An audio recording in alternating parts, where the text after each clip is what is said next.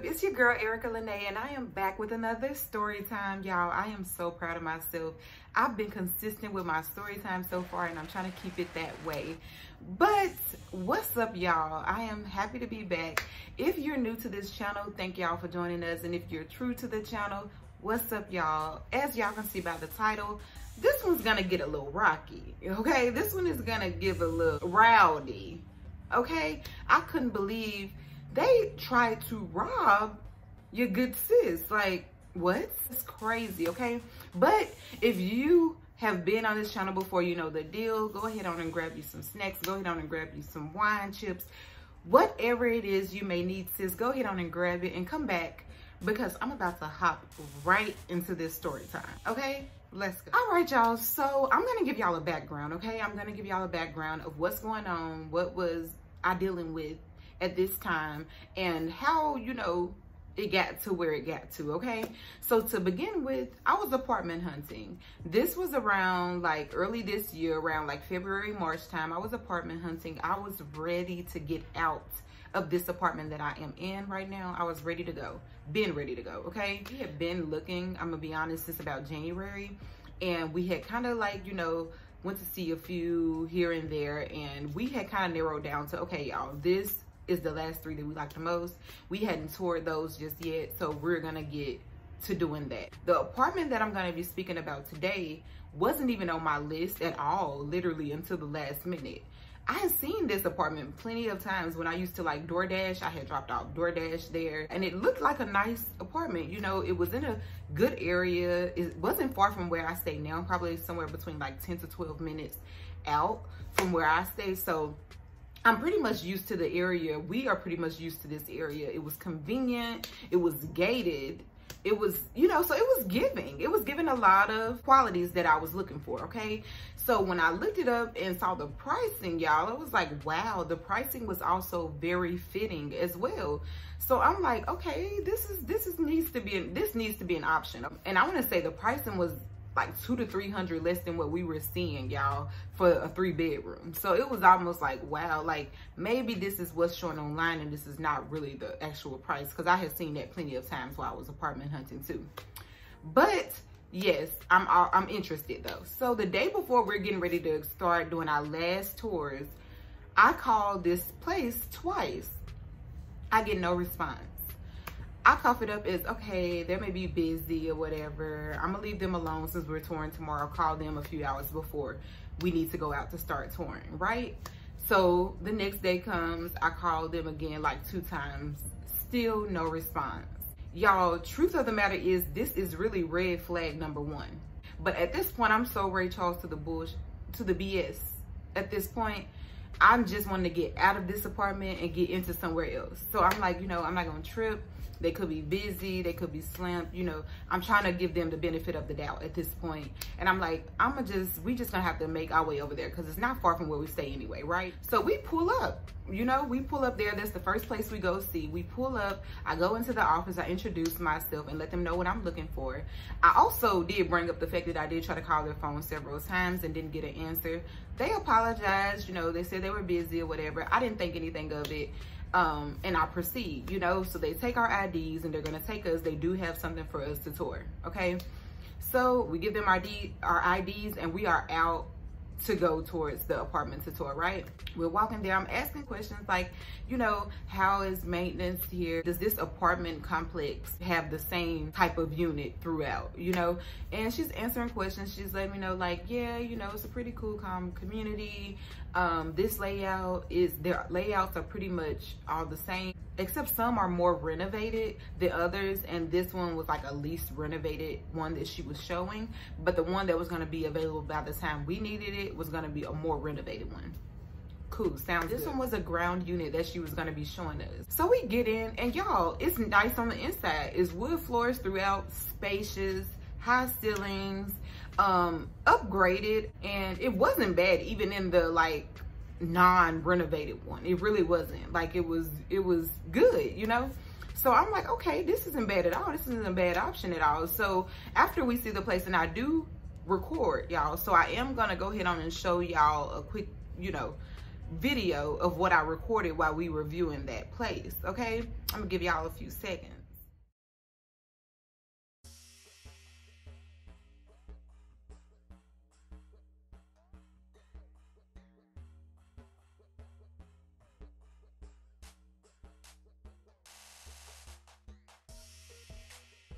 Okay, cool girl. You got it good. So as we are leaving out of this apartment, I'm now asking her questions about money. You know, what's the application fee? What is the charges that I can expect going forward? You know, and because I'm the one that's on my stuff, you know, I'm pretty much the one to deal with anything money related and making sure I have things in order because I'm usually the one that's most responsible. So I'm like asking get this information from her. She goes on to let me know like, yeah, you know, application fee. I can't remember how much she said it was. I think it was somewhere between 25 and $50, which is normal. There was the admin fee and that would need to be paid once we were approved. And it was $125 and she lets me know that depending on credit um, there may be an additional fee but it's usually somewhere around like $300 per applicant that doesn't have a good credit history I wasn't worried about the credit history part because my credit is good, y'all. One of my roommates' credit is good as well. And then the other one has no credit history. So I let her know that. And I'm like, she was like, okay, so that would be definitely $300 for the one that's not, that doesn't have a credit history. You will see on your approval if anything changes. I'm like, okay, great. So we're good. We get our IDs. We thank them. We move forward to the next apartment complex. We see this one, y'all. It's not in a bad area. It's not far from where we stay either but there were a few differences. It was a bit smaller than the other apartment that we had just seen. Um, the ceilings was a little lower. It was more renovated, it seemed, but it just, and the price was higher. So it just wasn't given with the smaller place and stuff. I was, we just weren't feeling it like that. And we had one more apartment to see. But by the time we finished viewing those two, it was getting close to time where traffic was about to get a bit stiff in Nashville. Okay, so we was just like, where we had to go to see the last apartment was further out than the area that we were in. So we were like, hmm, let's just call them and see what they have available, if they're gonna be avail available in time and you know, what the prices are like and everything. We called them, they were basically a no, okay? So we decide obviously with the first option. So now we get into the story time with this apartment, right? Once we made that agreement, we had, I don't know if I told y'all, but it was March 2nd because I have the video, you know, that video stamp says it was March 2nd when we toured. We went ahead and applied on March 7th.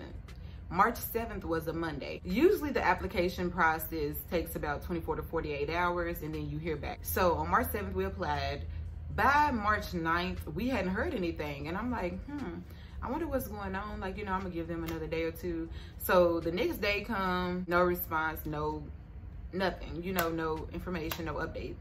Then Friday comes, which was March 11th, still no updates. So around noonish, I go ahead and give them a call just to check on the status of the application. The woman answers the phone and she's like, oh yes, I do remember you. You were working with, let's call that leasing agent, y'all. Bentley wants my attention. Let's call that leasing agent Angel. You were working with Angel. Angel's actually not in today, but I can check your account and see if you guys were approved. I'm like, okay, please do that. She go ahead for about five minutes, y'all. She come back and let me know we were approved. I'm like, oh, okay, well, thank you. We hang up the phone.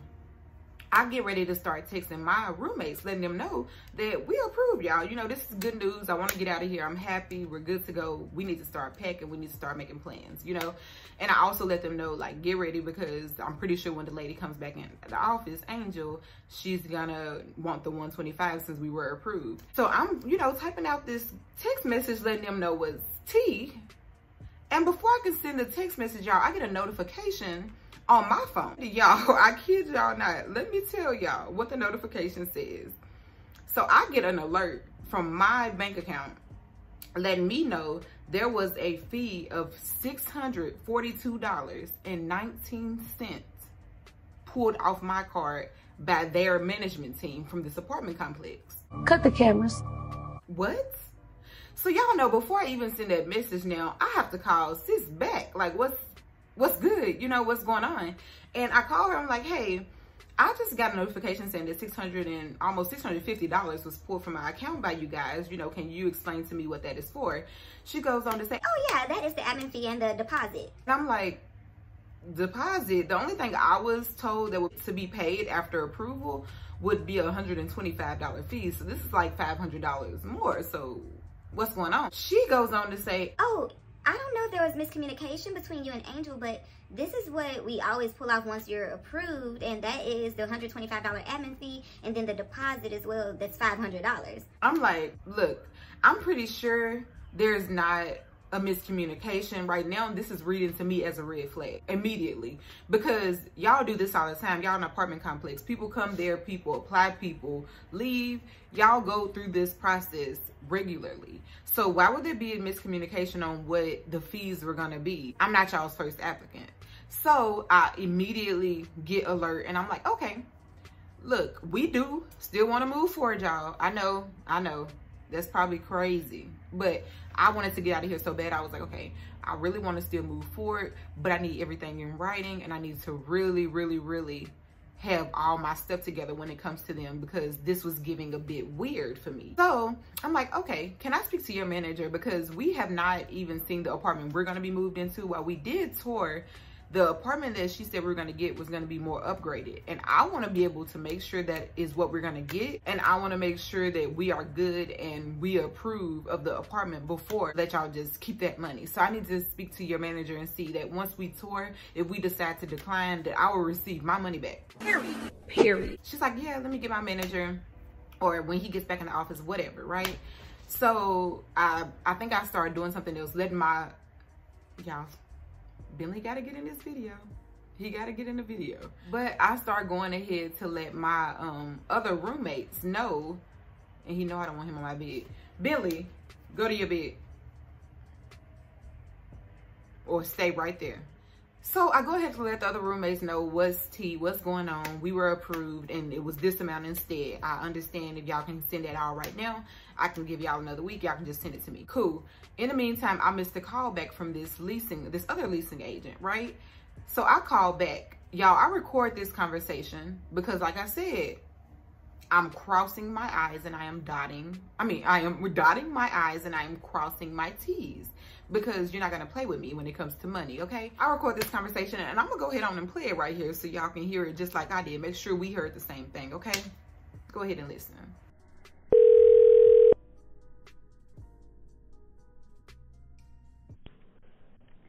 Thank you for calling. How can I help you? Hey, this is Erica calling you back. I missed your call. Just give me one moment. Okay. Thanks for holding. This is. Hey, how are you doing? Hey, uh, I'm good. How are you doing, Erica? I'm doing fine. Uh, good, good. So, uh, you're just wanting to know uh, if you can have your deposit back if mm. you see the apartment and don't like it. Correct. Exactly, because we we have toured, but we haven't toured that apartment. Okay. Okay. Um, how long? Okay, and you just, I mean, obviously to take well, maybe. see, my my um what I was told was I would be able to see it today, but I guess they're moving out today. So right, she correct. said it would have to be sometime next week. As soon as it's available for available for us to see it, I can tour it. So right, it really just right. depends on when y'all have it. You know, I mean, I don't mind it being not completely cleaned right away. I just want to see it to see, you know, what it actually looks like, so mm-hmm. we can know if we want to move forward. Because we weren't told that this full like um amount will be taken out right away at approval. It was told to me that we would pay 125 for admin and then the other 500 will be paid later on. So I right. was even caught off guard by that. But okay. now, since that happened, I'm more like, okay, yeah, let me just have this in writing so I can feel more comfortable. You know? Right, right. Okay, yeah, I could definitely put that, get that in writing for you. Um, okay. I, it's just I can a, stop by there and get it. You want me to email it to you? Oh well, yeah, you can email. You can email me and just you know confirm that if we decided not to move forward after seeing that apartment, that I can be refunded. Yeah. Okay. And another thing, since I have you on the phone now, um, I know that apparently due to one of the applicants that are roommating with me, they don't have a credit history, so mm-hmm. there's a three hundred dollar additional deposit that right. can be made when. Uh, when you move in. Okay, and we're like I already spoke to that we were looking to move in end of April. All of that is still accurate, right? Yes, yes, correct. Okay. Okay. If if anything changes, I'll have her reach out to you. All right, so y'all heard the conversation just like I did. I discussed a few things with him. He did go ahead and agree that he would refund if we decided not to move forward with the apartment.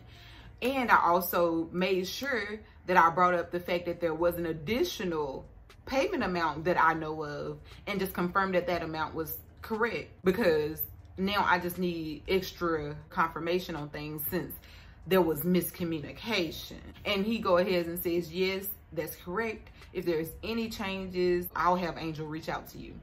I'm gonna name the manager Mike, okay? So that's Mike. Cool. That's in the conversation. He sends me the email. I got my confirmation. We are good to go. At this point, y'all, I'm making sure I am on top of everything. Everything. Everything I communicate with them, I'm making sure it's in writing. So I'm really sending them emails more than I'm calling at this point. And I'm asking for updates and all of this just because it's when somebody show you one time that they might play in your face, be on it. Pay attention because they're going to try you again, okay? That is a quick look, a quick little gem for y'all, okay? But yes, I'm on top of everything. So by that next week, because we came to the agreement that once I see that apartment, I can let y'all know if I approve. You can give me back my refund or we can proceed. So by that next week, I'll go ahead and I'll reach out about the apartment because from what from my understanding, the people should have been moving out. I should be able to tour it by this Friday, right? Because they pulled that money out of my account on the 11th. It's now the 17th or the 18th. So on the 18th, I believe I called and they were telling me the apartment was not ready. So since I've already spoken with Mike and let him know that as soon as the apartment was ready, I'll be able to proceed, I go ahead and send him an email to update him and to see if there's a workaround, basically. I'm gonna go ahead on and post the email here and then I'm gonna go ahead on and read it to y'all. So I'm like, good morning, Mr. Mike. I want to follow up with you in regards to the apartment you guys are reserving for us. I have spoken with your staff members and they explained that the apartment is still not available for touring at the moment, which pushes our expected tour date back once again. As I've previously mentioned, our current lease is ending last day of April, which makes this time sensitive for us. Due to this, we need to see the apartment as soon as possible so that we can either confirm or decline and plan forward accordingly, especially because if we decline, we would have to proceed to apply elsewhere. Since you guys are currently holding a good bit of our money, the last thing I want is to do additional applications during this time because application fees, as you know, are non-refundable and could be a waste of money. I'm sure you can understand this, so please, if you can respond with a specific date that we can stop by the tour ASAP, that would be great. Thanks for your time. Y'all, I kept it real sweet, real cute, real professional, okay? he responds back um i didn't even screenshot those emails but he's basically letting me know that hey they have moved out is not being cleaned yet and he's basically not in a condition that he's feel comfortable letting an upcoming tenant see the apartment in. But as soon as it's cleaned out, they can go ahead on and have me come and see it and tour it or whatever. I'm like, okay, cool. And then here's a conversation that I also had with the leasing agent that I worked with from the get-go, Angel. She reaches out to me and she's like, would you like me to send you a couple pictures of the unit? The unit has not been crashed out or cleaned yet, or we can place you in apartment 109, but we cannot show that unit until mid-April. I said, yes, please send pics of one-on-one. It was apartment one-on-one she was gonna show it, show me. I said, also, you can't show which unit until mid-April. In the pics, could you please show where the light lets into the unit as well, please? If you could do a walkthrough video, that would be amazing. Thank you. She responds 109. Um, I'm guessing that's the apartment that she can't show me until mid-April. And she says, they won't be out until the second week of April. So we won't be able to show you that unit. It will look like the one you saw first, just facing the opposite direction. I said, okay, I understand it will be cleaned in time for move-in though, right? Since we are looking for 425 move-in day. And she goes on to say, here are the photos of 101. She sent me photos of this unit. I'm gonna go ahead on and show y'all here. It's really not horrible, it's not bad, but it's not the most upgraded one that she was telling us that would be available for us. But it's not bad as y'all can see. It's, it's really not horrible at all. But for me, I like I said, this was apartment 101, which means it was not ground level. They actually had a sub level. And I'm used to being like the highest level in apartment complexes. So I don't think that was really sitting right with me from the get go, but I did want to see what it looked like and which one was giving what it was supposed to give, you know. But after seeing that one and showing my roommates the pictures and telling them where it was located, everybody pretty much agreed that they would rather be kind of like up more. So I'm like, okay, cool, that's fine. So we tell her no about this apartment and we're gonna go head on and look for apartment 109. So like she said, apartment 109 wasn't gonna be moving out until sometime in April.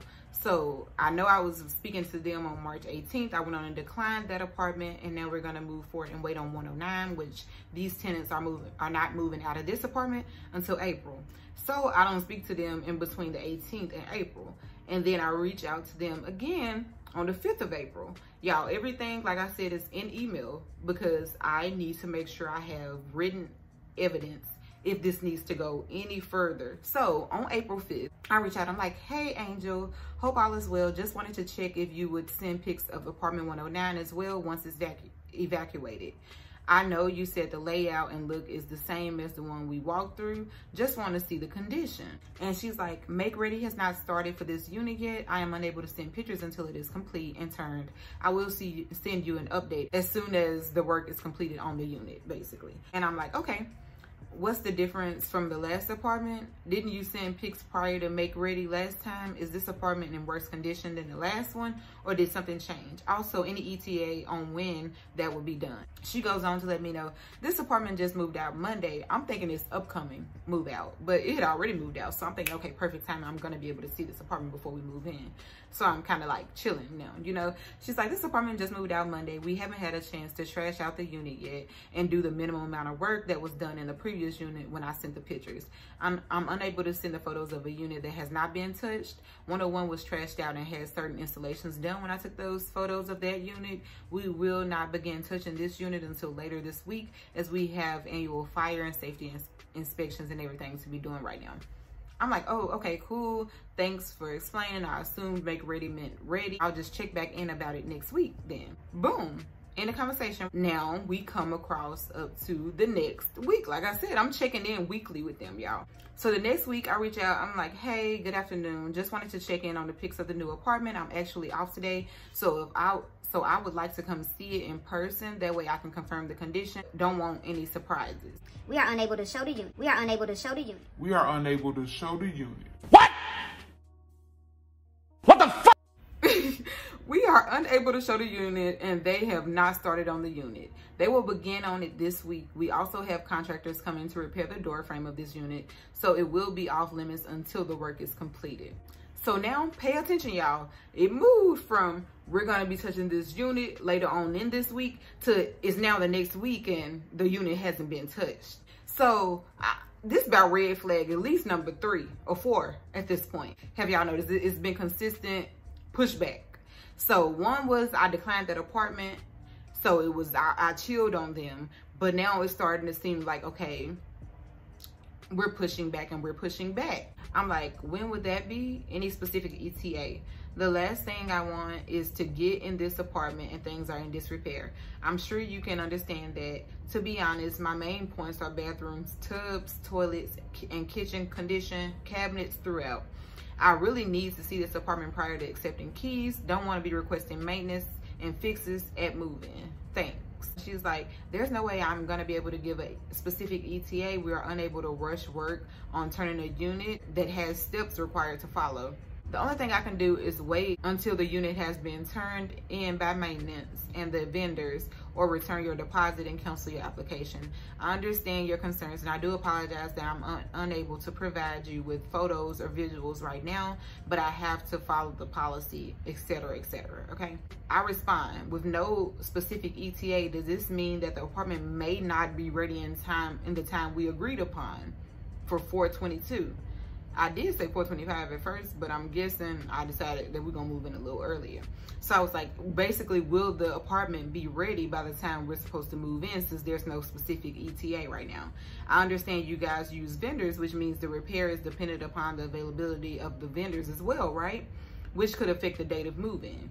And she's like, as of right now, your scheduled date is still as of planned.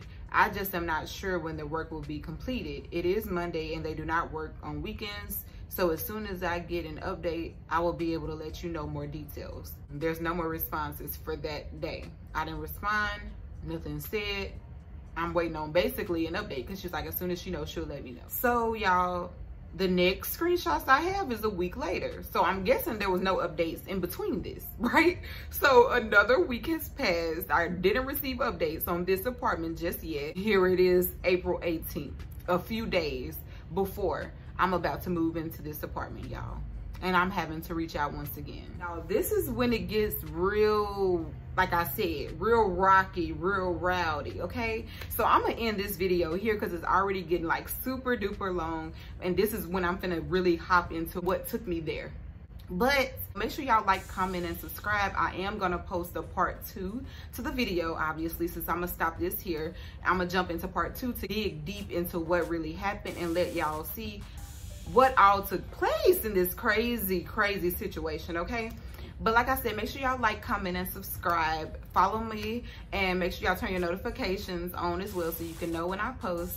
And I'll see y'all in part two.